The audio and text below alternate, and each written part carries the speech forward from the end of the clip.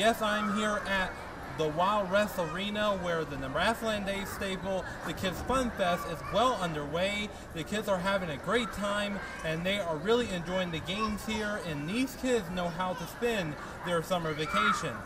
The Nebraskaland Days annual Kids Fun Fest returns this year with fun, food, and festivities for all of North Platte's and the surrounding area's youth to kick back and have a good time during the second week of Nebraskaland Days. This event unveils the true meaning of summer. Um, I feel like it brings the community together, together so that they can have fun at different stations and make new friends.